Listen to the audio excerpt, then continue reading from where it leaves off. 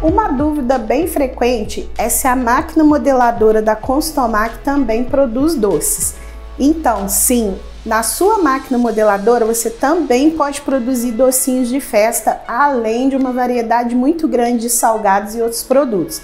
A gente produz na máquina os churros com vários recheios: Nutella, goiabada, moranguinho, leitinho, doce de leite e vários outros recheios. Você consegue fazer churros longos, sem recheio ou com recheio, e os mini churros de festa ou de copo recheados também.